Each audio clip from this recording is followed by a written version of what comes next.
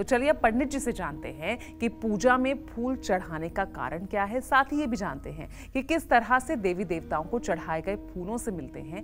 हर सुख और दुख हो जाते हैं, सभी दुख। आप तो बताइए पंडित जी, कैसे? फूल चढ़ाना देवी देवताओं को तो हम मंदिर में जाते हैं तब भी चढ़ाते हैं पूजा पाठ करें तब भी हम फूल चढ़ाते हैं। क्या इसका महत्व रहता है? देखिए, फूल जो है, ये वायु तत्व का प्रतीक है। और फूल हमारे श्रद्धा के समर्पण का प्रतीक है। कहलारोत्पल नाग केसर सरोजाख्यावली मालती मल्ली कैरव के तकादि कुसुमयी रक्ता सुमाराधि पुष्प माल्य भरेण सुरभिणा नाना स्रोतसा ताम्राम्भोज निवासिनीम श्री चंडिकाम प्रीतये। तो कहने का मतलब ये है कि नाना प्रकार के पुष्प इस संसार में हैं, जिन्हें हम जानते होंगे या नहीं जानते होंगे।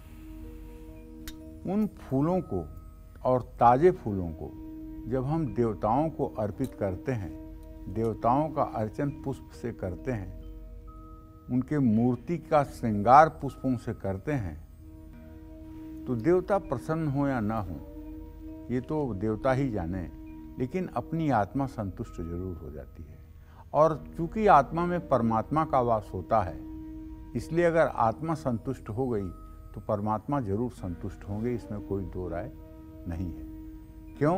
क्योंकि प्रातर स्मराण, प्रातर स्मराम हृदय संस्फुरदात्म तत्व सच्चित सुखम परमहंस गतिम तुरीयम। यत स्वप्न जागर सुसुप्तिम वैति नित्यम तद ब्रह्म निष्कलमहम न च भूत संग मनुष्य जो है, ये नष्ट होने वाला संघात नहीं है, क्योंकि आत्मा अजर, अमर, अविनाशी है और इस आत्मा में परमात्मा का वास होता है। इसलिए मनुष्य नष्ट होने वाला संघात नहीं है। ये मिट्टी का शरीर छोड़ देने से मनुष्य की मृत्यु नहीं होती है। ये तो शरीर का परिवर्तन है, उसकी आत्मा अजर अमर है, फिर दूसरा शरीर धारण कर लेगी। तो इसलिए पुष्प का, फूल का जो वायु तत्व से है, और वायु तत्व क्या है भैया? वायु तत्व ही प्राण तत्व है। शरीर में कहीं जीव नहीं होता है। आपको किसी वैज्ञानिक ने बताया कि जीव कहाँ रहता है? जीव अगर है तो ये श्वास है। ये श्वास आना जाना अगर एक मिनट के लिए बंद हो जाए तो सब कुछ खेल खत्म।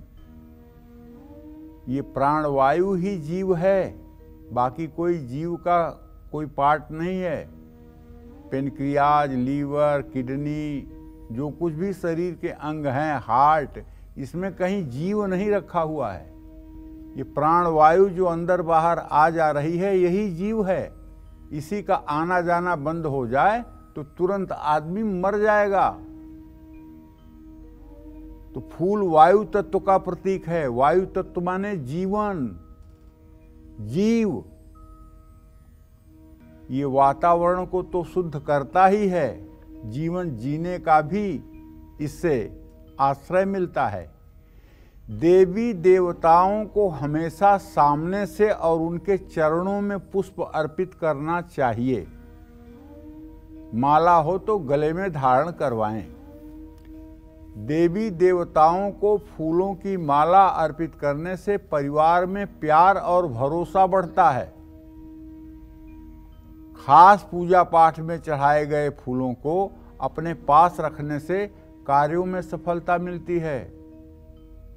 आपको एक बात बताऊँ, अगर आप किसी मंदिर में गए हैं और मंदिर में आपने पूजा की और पूजा करके आप सर तो झुकाएँगे ना भगवान के सामने अगर आपने भगवान के सामने सर झुकाया, सर आपने उनके पैरों के पास रखा और उसी समय मूर्ति से कोई माला या फूल गिर करके आपके ऊपर आ जाए तो मैं 101 परसेंट की गारंटी से कहता हूँ, आप जिस मनोकामना से उस मंदिर में गए होंगे, वो मनोकामना आपकी तत्काल पूर्ण होने वाली है। विश्वास न हो तो रामचरित मानस खोल लीजिए।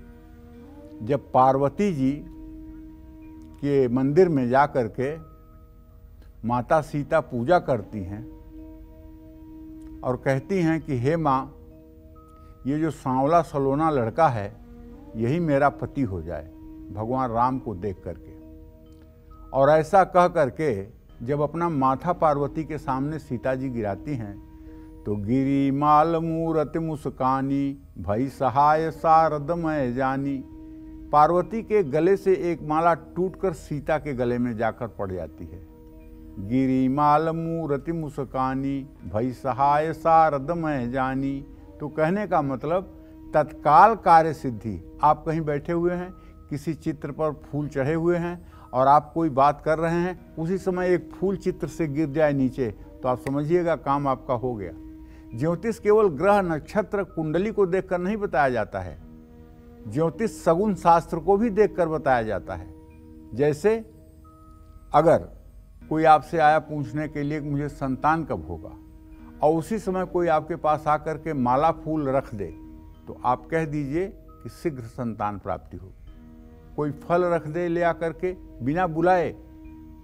कोई आए पूछे कि मेरी शादी कब होगी, और उसी समय कोई कुंवारा लड़का आकर के उस कमरे में प्रवेश कर जाए जहाँ ज्योतिषी बैठा हुआ है तो चतुर ज्योतिषी को चाहिए कि तत्काल विवाह की भविष्यवाणी कर दें कि विवाह तत्काल होगा।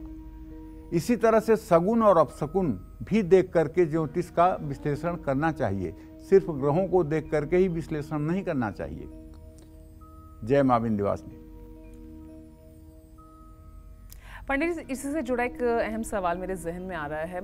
आपने जैसे फूल चढ़ाने की बात कही, लेकिन जब पूजा समाप्त हो जाती है या अगले दिन जो पूजा सामग्री चढ़ाई जाती है या जो फूल अर्पित किए जाते हैं उनका क्या किया जाए? देखो ऐसा है सारे पुष्प को उतार करके एक जगह रख लिया जाए और घर में गाँव में जहाँ भी आप रहते हो वहाँ एक बड़ा सा गमला बना दिया जाए। हम्म। गमले में थोड़ी सी बालू रख दी जाए और बालू वाले गमले में आप फूल को डालते जाइए डालते जाइए। ठीक है? वो गमले में सब मतलब कि जो है मर्ज होता जाएगा। हम्म। और चार महीने छः महीने का जब गमला हो जाए तो उसको उठा करके आप किसी खेत में डाल दीजिए। अगर खेत नहीं है आपके पास तो आप किसी जल में प्रवाहित कर दीजिए। उससे प्रदूषण भी नहीं होगा और आपका फूल भी सही जगह पर इस्तेमाल होगा।